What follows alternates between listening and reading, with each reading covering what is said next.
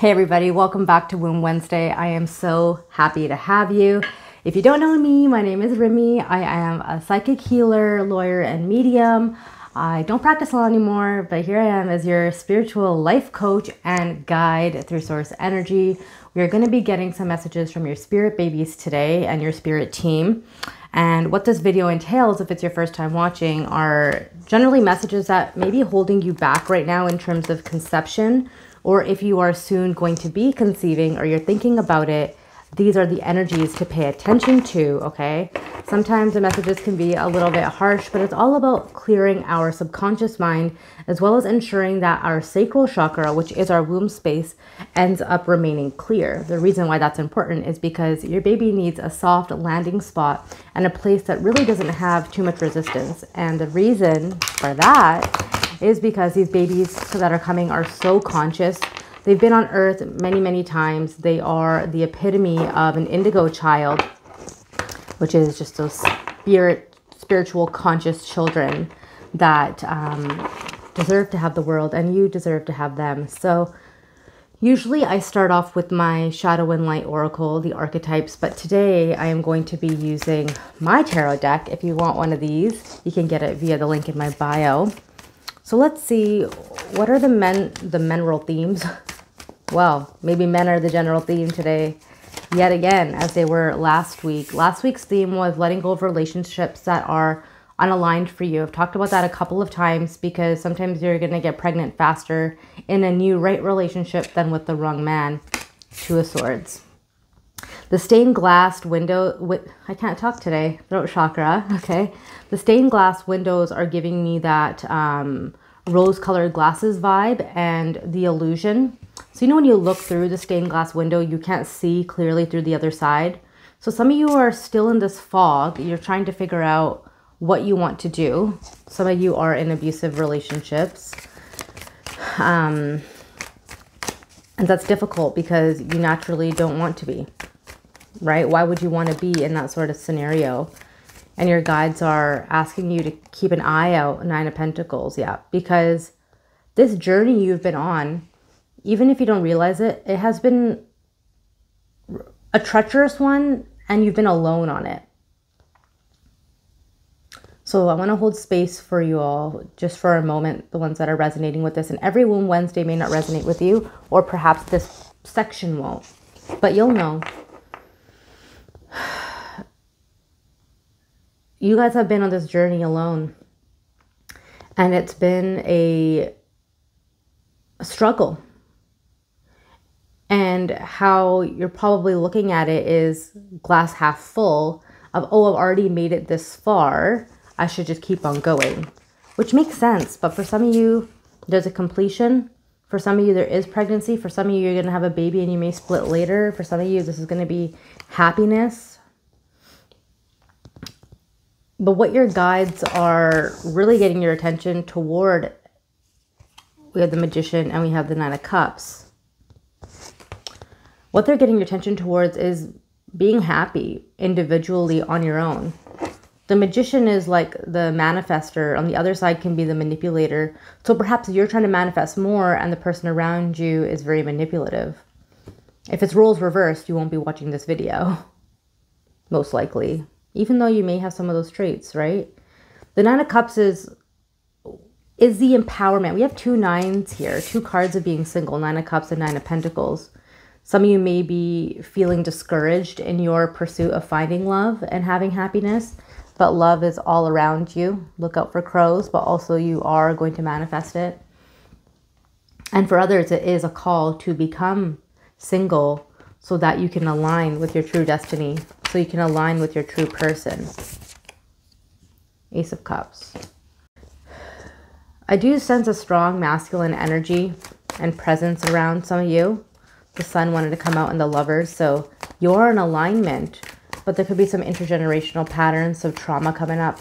So let's see, what is this trauma that's coming up for people? Oh, maybe it's coming from a broken home and you have the fear that that is going to be what repeats. So you may be in a healthy relationship and then you're like, I can hear somebody saying, yeah, yeah, that's what it is. Like you may be in a healthy relationship, but you have this constant need to sabotage it. That's where this magician energy comes in. So you have an awareness and you want to know why or you want to know what's holding you back. So temperance is seeing things from a bigger perspective. Know that whatever you are challenged with right now and whatever you are working through is something that you are healing for the next generation. So they're not going to go through the same stuff you're going through. They're not going to go through the same um, turmoil and hardship. So that's something to keep in mind. It's Five of Swords that wants to come out. That's like the deceitful energy. That's the headache. That's the constant worry, anguish, struggle. So you're not going to have to worry about that. You're not going to be in the scenario of having to do the BS all the time. Five of Cups and Three of Cups. Do the BS as in like live with that in the future. The Five of Cups and the Three of Cups. So Three of Cups is celebration. For some of you, you have a lot of spirit babies around you. Your spirit team is congratulating you for all of the hard work you've done. For some of you, it looks like around October or November could be the time where you get some good news or you start to feel more hopeful about it. Perhaps you're consistently watching the videos um, or you're an existing client as well. If you want to work with me, you can via my description. Um, so you you're working in a way of you know, resilience and perseverance. I also have a three month fertility healing program where we do six coaching calls, we do activities, journaling, meditation, and we have instant messaging to help you in a really concentrated period of time start clearing those beliefs. And of course, your actions in maintaining those new belief systems is going to be really important, okay? The Five of Cups is also showing up. And I don't know if you know this about flamingos, but after they give birth or when they've exerted a lot of energy, that's when they lose their color. So when you see a flamingo that's lighter in color and not bright pink, they are low on energy or they've just given birth. When they start to regain their energy is when they regain their, I was gonna say their consciousness, but their pink, vibrant, vib- uh, vibrant color. So for some of you, there's a theme of um, the fear of postpartum again, totally natural or that could have even been in a past life and you're carrying the energy into a present life. For some of you, it's, oh, I've already been through this. And while I love my child, I didn't like that experience. For some of you, it's, um, you know, you're coming in it with, into it with a lack mindset. So showing yourself kindness is going to be crucial at this point. We have the Six of Swords and we have the Eight of Pentacles. So doing this work on yourself is going to allow you to move forward. You're on an individual journey. This doesn't mean that in partnership you're alone necessarily, like I was saying earlier, but the internal work is an individual journey and it's going to inform you acting differently in your physical circumstances right? And here we have coming out the King of Pentacles. So perhaps with your partner, the Ace of Wands, Teamwork is required, but some of it is holding you back with Seven of Pentacles. You intuitively know what this is, and perhaps you've been in a situation already with someone in your life that, you know, they've told you, hey, this is, um, you know, your mentality is not healthy, or hey, this is not working out, or this is, um, you know, you're causing a lot of anxiety, or, you know, like it could be anything to do with that and you're you're starting to see that mentality within yourself.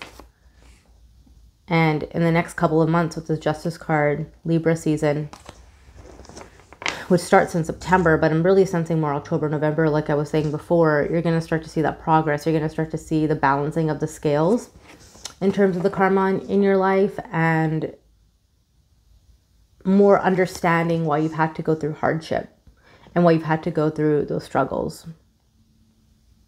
Okay. I'm going to grab a couple of cards from my energy oracle to see what else would like to come through.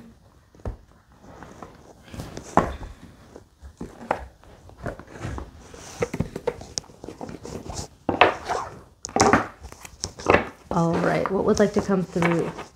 What would like to come through in the energy oracle here? Hmm. Strategy, coming out right away. Some of you are overthinking this. The overthinking causes resistance. Your baby wants to come into a calm, peaceful environment, not one that is dictated and controlled. They want to come into a loving environment.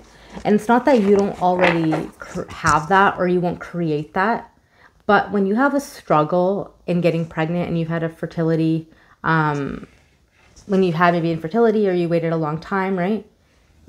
You're going to want to make sure that everything in your life remains in your control. You're going to want to make sure everything is balanced. And while you can do that, and that's great, that's healthy, right? Like you want to have a balanced environment, you guys are becoming overbearing a little bit. Throat chakra wanted to come in reverse here. Fifth chakra, Archangel Gabriel. Um, there's there's too many boundaries because when a child comes they're going to have their own way of doing things. And every child is going to be different. Even if they're identical twins every child is going to be different. They're going to have their own individual energy. And your guides are going to say well and they're your guides. They're going to be like yeah patience in reverse as well. Like you need to have patience to be a parent and you're causing us stress and we're not even here. And as I was saying, they are conscious children.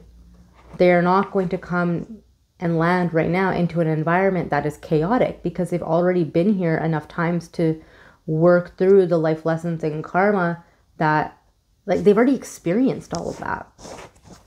And they're not okay with doing that again. Man holding a coin. So potentially with father wounding, this could be with toxic men in their life. This could be you not having boundaries with toxic men in your life, a parent, a partner that shouldn't be in your life, a grandparent. There may be addiction, intergenerational stuff that you've worked through that now your child sees that you are struggling with, but you have not healed. So they want you to make sure that you are doing that healing work so that they don't, so you don't create a pattern for them where they are then reverse parenting you. Like they're coming back to be an authentic, genuine, and happy child. All right, so that is what I have for you for this week for Womb Wednesday. As I mentioned, if you'd like to book a personal reading, you can do so via the link in my bio. If you'd like to work with me in a fertility healing program, you can also check that out in the link in my bio or shoot me an email and we can chat about what your options are. I hope to see you next time. Make sure you're subscribed and following along. Take care. Bye.